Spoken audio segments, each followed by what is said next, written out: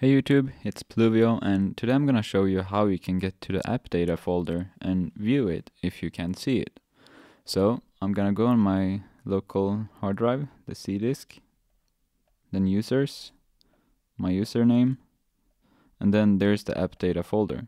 But if you're not seeing this, and as you can see it's uh, kinda hidden compared to other folders, you gotta go to options, change folder and search options, and then view and right here you will see hidden files and folders.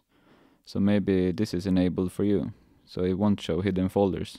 So you want to change that to show hidden folders and apply.